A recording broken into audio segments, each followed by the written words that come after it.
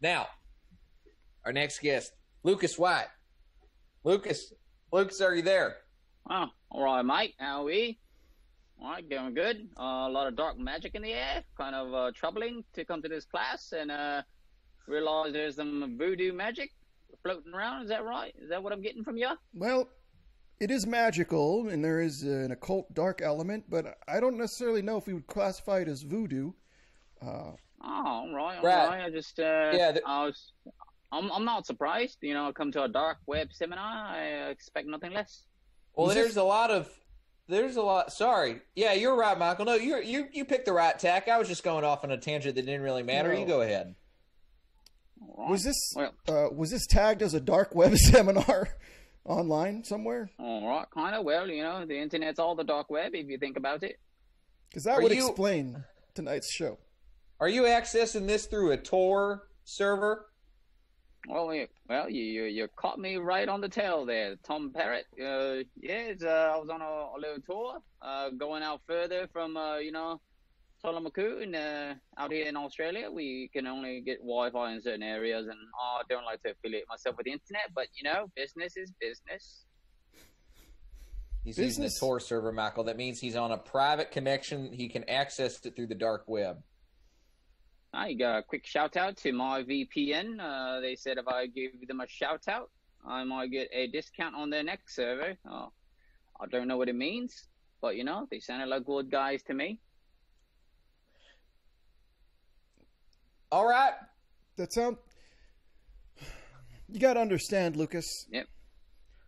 The Right. places we've been in the last forty minutes, juxtaposed with a innocent plug for a VPN service, uh, All right.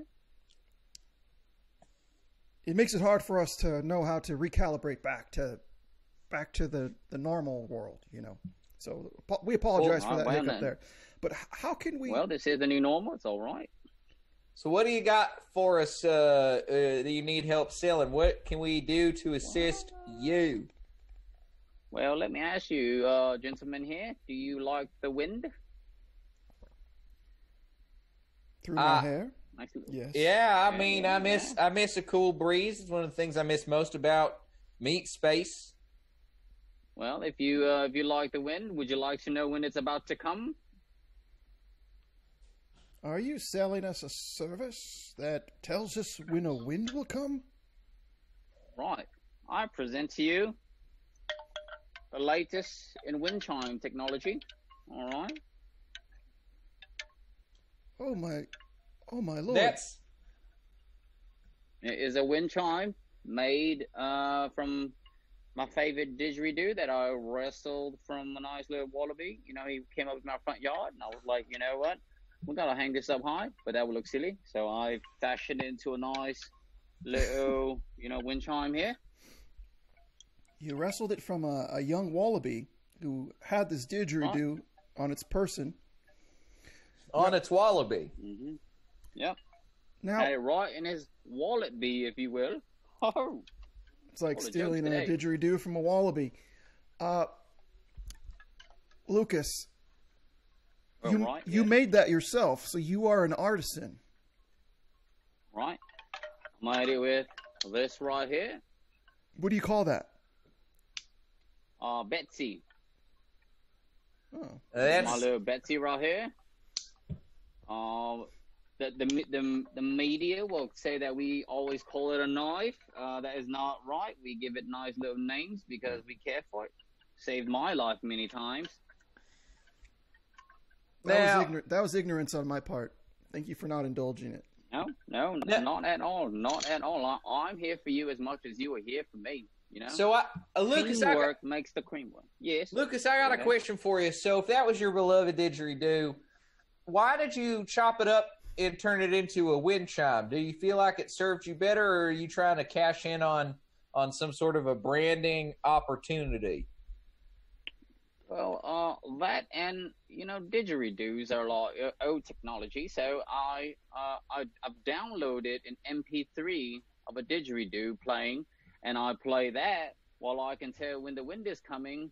And even better, you know, uh, this didgeridoo here, it's, it just doesn't come with it. So that's why I reached out to you, you guys on the dark web to see if uh, if I could throw in a little bonus with the didgeridoo. Uh, I am willing to throw in a wild animal of your choice. All right. So wild animal and a didgeridoo, but it's actually a wind chime, so it's like a didgeridoo we got to assemble ourselves. But the wild animal, Right? Okay, Michael. Um, I mean, we we know the policies on eBay about selling live animals. It doesn't really doesn't really go Right. so hot. There's workarounds. If you drape Yeah. the, if you drape a, Now an you're speaking my animal, language there. drape an animal Lie. in a San Antonio Dead Spurs jersey, and then Dead you sell the jersey. I tell ya. Dead or alive? Me and Betsy, we're gonna go right out there, about 40 clicks north, and we will find you whatever you want. How do I get started? That You know, was the- people in the chat were worried about your item being cursed, but Lukas, it seems like you might be a little bit cursed as an individual. Wow. Well, it's not the first time hearing that. My ex-wife has called me worse. Usually in a horror film, uh, the ghost is a MacGuffin, and the true evil is uh, whichever man is in the house. Lukas, what Ah, all right. by chance? What was your ex-wife's name? I'd rather not say. Is your ex-wife named? Is your ex-wife named Betsy? Mm, you're very warm. Remind me, How- Tom. Uh, remind you, yeah, I want to be a part of this. But Betsy is the name of Lukas's knife. Betsy. all right, I'm caught up. You caught up? You you with us? You're on the same What? speed? So, You keep it. You keeping up there, buddy? so you had an ex-wife named Betsy. Allegedly. Allegedly. Right, took the word right out of my mouth. Now Mm. we're up. we're we're on a road that diverges into two paths here. All On one right, path- one's guilty, one's not guilty. In I many, mean, we're not we're not prosecutors here, but we are in the business of of business. Right. All right. Yes, her name was Betsy. We are on the dark web, and nothing is legally binding. I imagine. Well, we're not we're not on the dark web. This broadcasts to a lot of different platforms. you access this through the dark web, but that's just because you can access the regular internet through a dark web as well. It, it's not all dark shit. Well, good thing my name isn't really Lukas White. I bet you that's not even your real Australian voice you're using. Right, a little, little British in there. Right, yeah. There's a little bit of Well, there's a little bit of everything in there. well, it's a little, it's a little, uh, you know, what, what do they call that in the states? A little uh, smorgasbord. They call that sweet. Oh. What? You, Michael? I, Listen, you know, Michael's the one who's got experience with selling animals on the internet. So, Michael, I'm going to let you finish this one off because we're we're almost out of time, Lukas, for you. But Michael, I know has Uh-oh. some experience in the in the in the selling animals department. So, I'm going to let you take All this one with this Right. uh, with this wife killer. so How dare you? Allegedly. uh, Lukas, I'm going to call you Lukas since that's the only Mhm. name we've confirmed with you. Please All tell me, Go ahead. please tell me that your ex-wife was very mean to animals or children, because I want to have a scenario where there's some way to proceed with the knowledge of you committing this murder that doesn't Mhm. make everyone here feel like they were part of something that was unfortunate. So there must be some uh, some heinous, evil thing that your ex spouse did that Well, superseded uh, murdering. uh, for the for the record, yes. Okay, that's all I needed. Nope. No details. As long as you All say yes, we're good. Okay, so our consciences are cleared. right. You did the All right clear thing. ready to go. So you You're going to want to get a San Antonio Spurs jersey. You're going to drape it over whatever wild animal that your buyer selects. Right, I Uh, can get any animal uh, as long as we pay in Bitcoin.